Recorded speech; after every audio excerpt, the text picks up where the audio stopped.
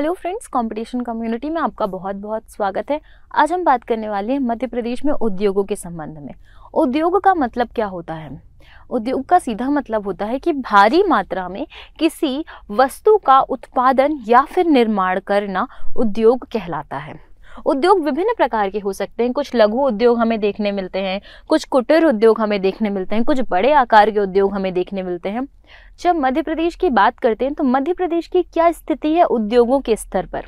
तो मध्य प्रदेश में उद्योगों में पहली चीज़ हम देखते हैं कि मध्य प्रदेश की औद्योगिक नीति वर्ष उन्नीस को लागू की गई थी।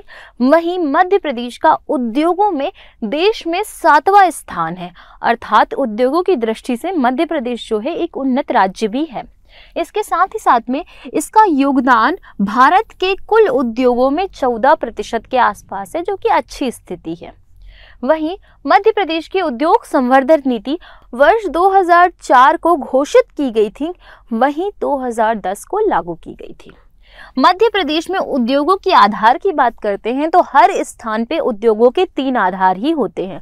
अब ये तीन आधार कौन कौन से होते हैं? मध्य प्रदेश में उद्योग। पहला है खनिज आधारित उद्योग, दूसरा है कृषि आधारित उद्योग और तीसरा है वन आधारित उद्योग।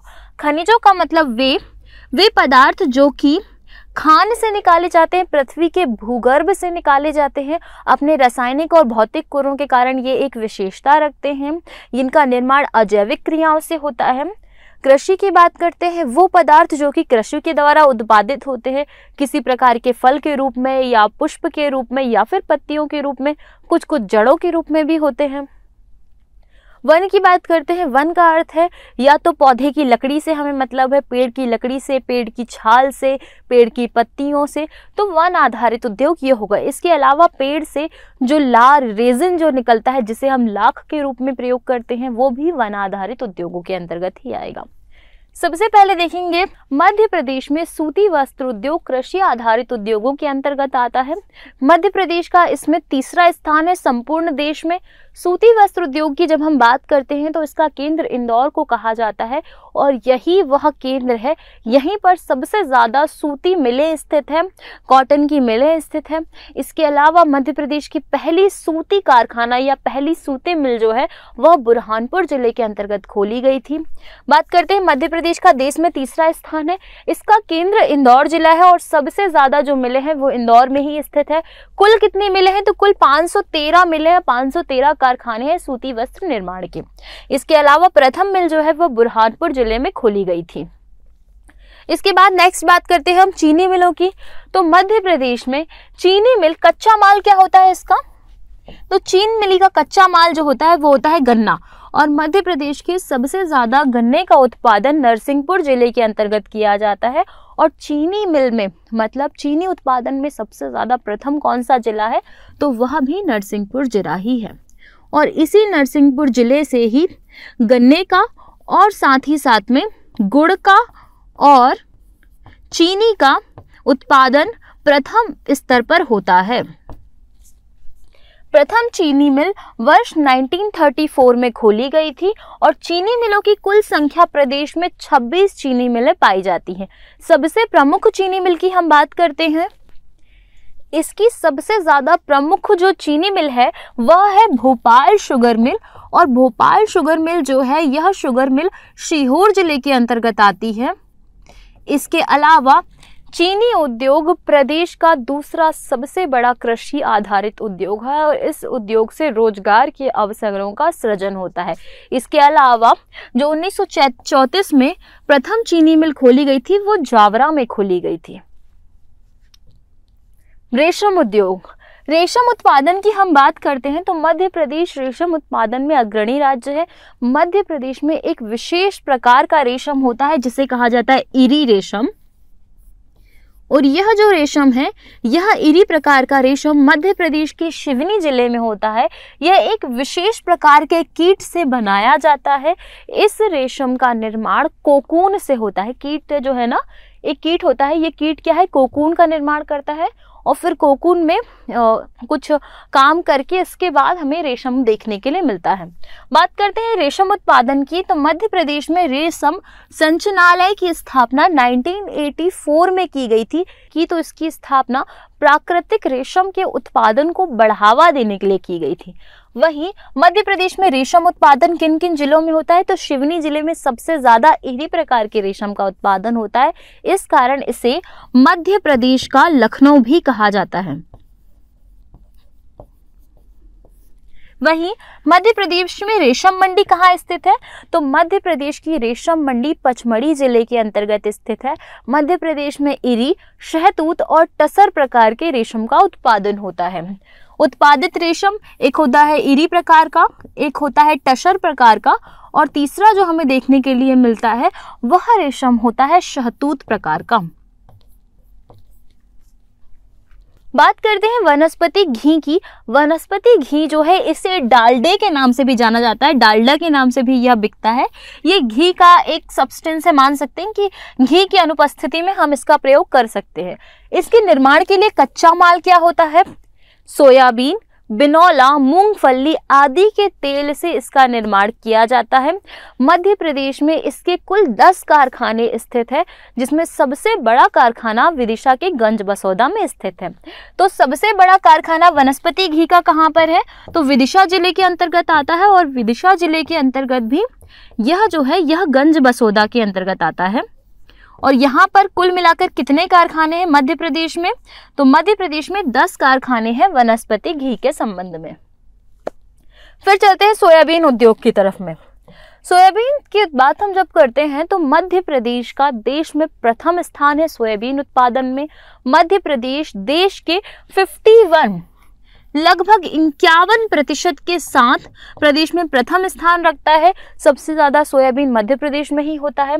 प्रमुख कारखाने कहाँ कहाँ पे हैं मध्य प्रदेश में सोयाबीन के? और इसके अलावा कितने प्रतिशत उत्पादन? तो 51.3 प्रतिशत उत्पादन करता है। उज्जैन और मालवा के क्षेत्र से सबसे ज़्यादा सोयाबीन का उत्पादन मध्य प्रदेश में होता है। सबसे ज़्यादा सोयाबीन का उत्पादन मध्य प्रदेश के मालवा के क्षेत्र में ही होता है। देखिए सोयाबीन से तेल निकालने का कारखाना शिवनी ज़िले में स्थित है। वहीं सोयाबीन से बिस्किट बनाने का कारखाना भोपाल में स्थित है। एशिया का सबसे बड़ा सोयाबीन कारखाना उज्जैन ज़िले के अंतर्गत आता है। वहीं देश का सबसे बड़ा सहकारी सोयाबीन कारखाना शिवनी ज़िले के अंतर्गत आता है। ये हो गए सोयाबीन से संबंधित प्रमुख कारखाने। खाद्य प्रसंस्करण उद्योग के तहत खाद्य पदार्थों को मानव और पशुओं के खाने के लिए लंबे समय तक चलाने के लिए इसे एक विशेष प्रकार से पैक किया जाता है और यही उद्योग खाद्य प्रसंस्करण उद्योग कहलाता है। यह उद्योग बवई होशंगाबाद में स्थित है और पहला मेगा फ़ूड पार्क जो मध्य प्रदेश में स्थित है, ये कसरावत खरगोन ज़िले के अंतर्गत आता है। वहीं मध्य प्रदेश का पहला निजी क्षेत्र का मेगा फ़ूड पार्क जो है, वह देवास ज़िले के अंतर्गत आता है। वन आधारित उद्योग। देखिए, वन आधारित उद्योग मतलब जिनके कच्चे माल की उत्पत्ति वन से होती है और वन से जिनका कच्चा माल प्राप्त होता है। पहला है कागज़ उद्योग। देखिए, कागज़ उद्योग आपको एकदम क्लियर होना चाहिए कि कागज़ का निर्माण किससे होता है? बाँस के पेड़ों से होता है। इसके अलावा यह उद्योग मध्य प्रदेश में सबसे पहले कहाँ खोला गया था? तो यह मध्य प्रदेश के बुरहानपुर में सबसे पहले खोला गया था। प्रमुख मिलों की बात करते हैं तो कागज़ उद्योग की जो प्रमुख मिल है, वो ये है। National news print and paper mill जो कि नेपानगर बुरहानपुर में स्थित है। इसके अलावा सिक्योरिटी पेपर मिल की स्थापना होशंगाबाद ज़िले के अंतर्गत 1968 में की गई थी। वहीं बैंक नोट प्रेस कारखाने की स्थापना 1974 में देवास ज़िले के अंतर्गत और मध्य प्रदेश में टिश्यू पेपर का कारखाना महू इंदौर में स्थापित किया गया था। टिश्यू पेपर का कारखाना महू इंदौर में स्थापित किया गया था। क्लियर है? देखिए, सिक्योरिटी पेपर मिल होशंगाबाद में। बैंक नोट प्रेस देवास में टिश्यू पेपर और महू इंदौर में। फिर बात करते हैं नेशनल न्यूज़ प्रिंट कारखाना मतलब अखबारी कागज़ कारखाना तो बुरहानपुर नेपानगर के अंतर्गत इसकी स्थापना की गई थी।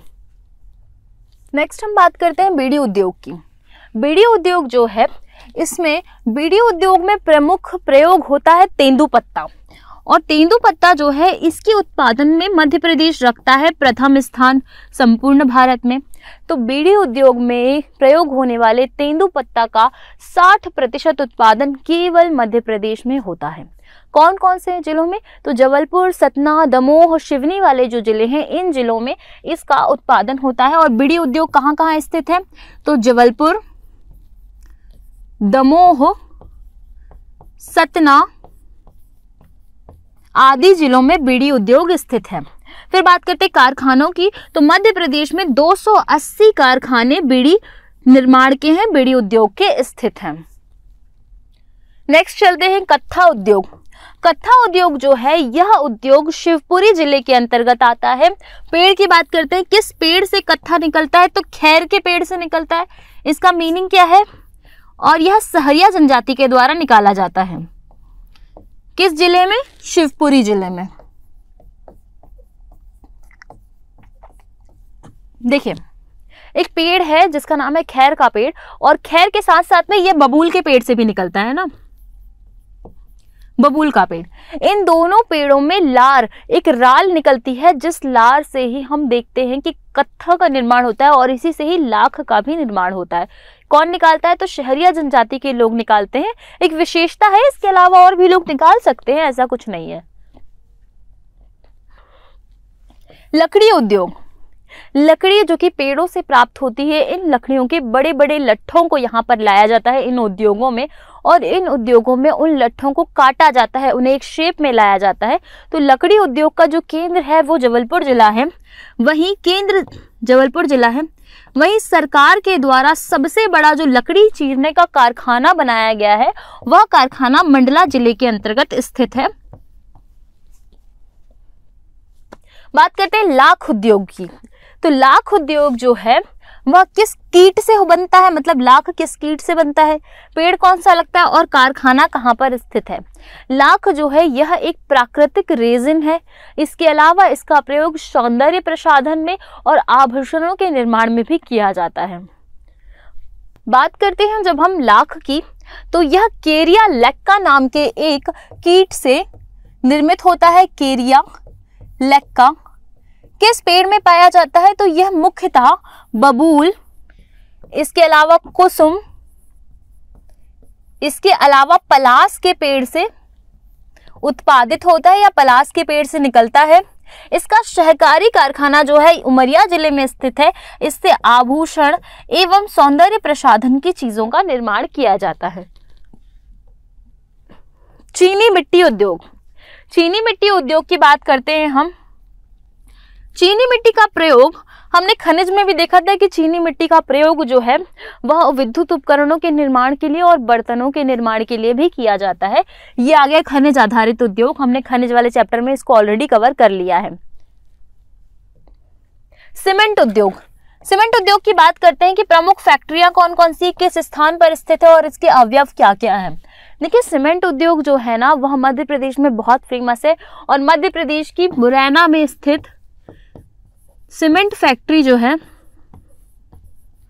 यह सीमेंट फैक्ट्री पहली सीमेंट फैक्ट्री थी, प्रथम सीमेंट फैक्ट्री थी जो कि मध्य प्रदेश में खोली गई थी। इसके अलावा सतना,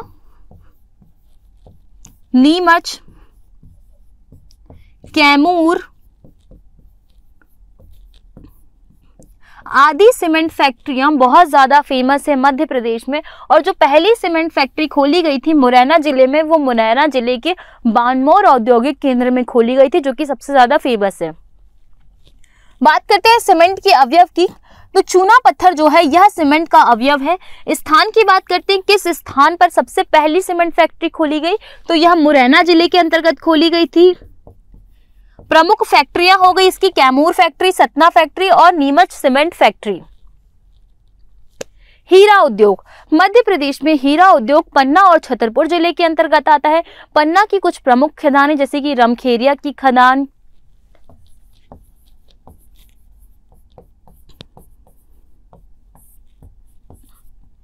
हिनोता की खदान। अंगोरा की खदान और मजगवा की खदान। अंगोरा की खदान जो है, यह खदान छतरपुर ज़िले के अंतर्गत आती है। वहीं मजगवा की खदान जो है, यह देश की सबसे बड़ी हीरा खदान है और रमखेरिया की खदान जो है, यह हमें सबसे ज़्यादा फ़ेमस दिखाई देती है। किस नदी के किनारे है? तो किलकिला नदी के किनारे है और किलकिला नदी जो है, वह केन नदी की सहायक नदी है। और हीना, हिनोता की खदान से भी हीरे का उत्पादन होता है मध्य प्रदेश में। हीरा उत्पादन में मध्य प्रदेश पहला स्थान रखता है। भारी विद्युत उपकरण, भारी विद्युत उपकरणों की स्थापना वर्ष 1960 में भोपाल में भेल के द्वारा की गई थी। उर्वरक उद्योग उर्वरक उद्योग की स्थापना इसमें खनिज कौन कौन सा लगते हैं और इसमें कारखाने कौन कौन से? देखिए, उर्वरक की जब हम बात करते हैं तो कृषि में जो पदार्थ होते हैं, कृषि में जो फ़सल होती है, उस फ़सल को और बेहतर करने के लिए जो सप्लीमेंट मिलाए जाते हैं, उन्हें ही उर्वरक कहा जाता है। उर्वरक एक प्रकार से उत्तेजक का कार्य करते हैं और कीटनाशकों को समाप्त करने के लिए भी इन्हें फ़सल में या फिर भूमि में डाला जाता है।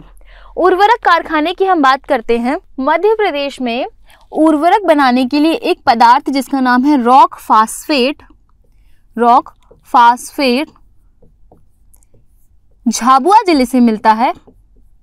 तो खनिज का नाम हो गया रॉक फास्फेट और उर्वरक बनाने का कारखाना कहाँ पर स्थित है? तो यह मध्य प्रदेश के गुना में स्थित है उर्वरक बनाने का कारखाना।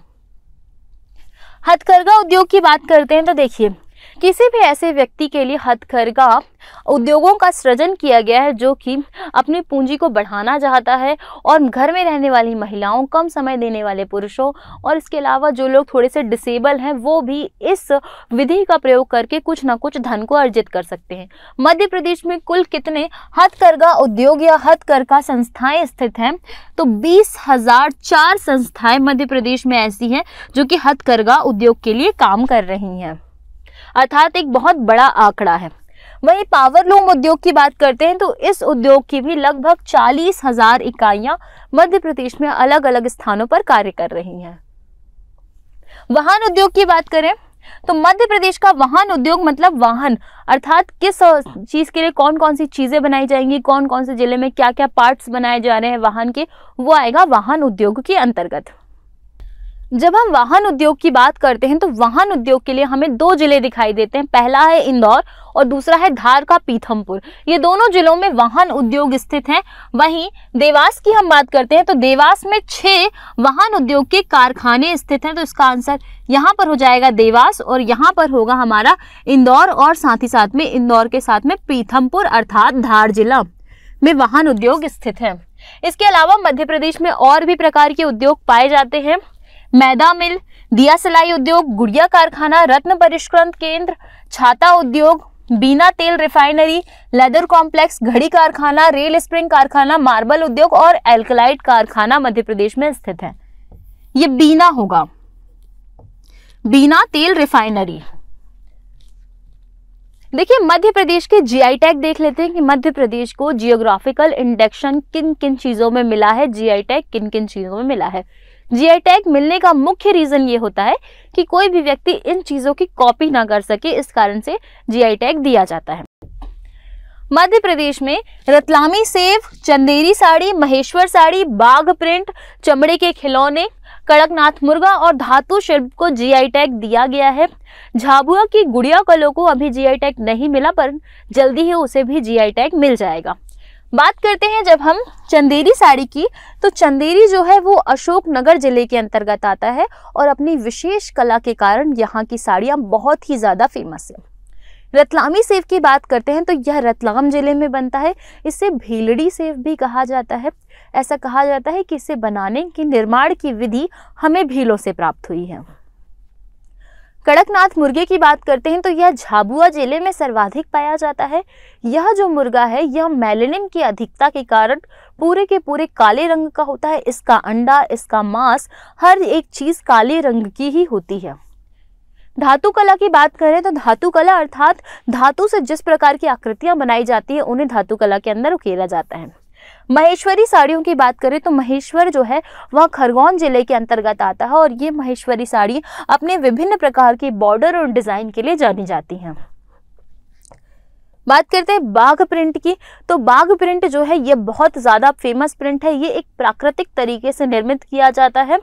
इसके अलावा इंदौर के चमड़े के खिलौने बहुत ज़्यादा फ़ेमस है और इन्हें भी जीआई टैग दिया गया है मध्य प्रदेश में। तो मध्य प्रदेश के सात जीआई टैग हो गए। झाबुआ की गुड़िया कला को अभी जीआई टैग नहीं मिला, पर कुछ समय बाद उसको जीआई टैग मिल जाएगा। मध्य प्रदेश राज्य के प्रमुख औद्योगिक केंद्र। देखिए, ये क्वेश्चन भी ऐसे में बहुत बार पूछ चुका है कि किस ज़िले का औद्योगिक केंद्र कौन सा है। आपको याद करना थोड़ा मुश्किल हो जाता है, इस कारण से मैंने सारे जितने भी ज़िले थे, उन सारे जिलों के औद्योगिक केंद्र आपके लिए लेके आए हैं। पिछली बार मुरैना का औद्योगिक केंद्र पूछा गया था। मुरैना का औद्योगिक केंद्र पूछा गया था, जो कि बानमौर था, जिसका सही आंसर? ठीक। फिर हम बात कर लेते हैं, अगर मुरैना का पूछ सकता है तो वो आपसे साजापुर का पूछ सकता है, वो आपसे देवास का पूछ सकता है, वो आपसे शिवनी का पूछ सकता है, वो आपसे जबलपुर का पूछ सकता है तो आपको कैसे याद रखना है? मुरैना, बानमौर। मुरैना, बानमौर। भिंड, मालनपुर। देखिए, मुरैना जो है ना मुरैना का आपको याद ही रहना चाहिए कि बानमौर, क्योंकि ये एमपीपीएससी में पहले भी क्वेश्चन पूछ चुका चुका है। भिंड की बात करते हैं तो भिंड का है मालनपुर। भिंड का औद्योगिक केंद्र कैसे याद रखना देखिए, भिंड में रहते हैं बहुत सारे बागी। बागी बहुत सारे रहते हैं तो माल मतलब पैसा वहाँ बहुत ज़्यादा होता है। तो भिंड बहुत सारे, भिंड में बहुत सारे बागी रहते हैं तो पैसा मतलब माल। और माल का एक पूरा स्थान है, इसलिए मालनपुर। तो भिंड का औद्योगिक केंद्र हो गया मालनपुर।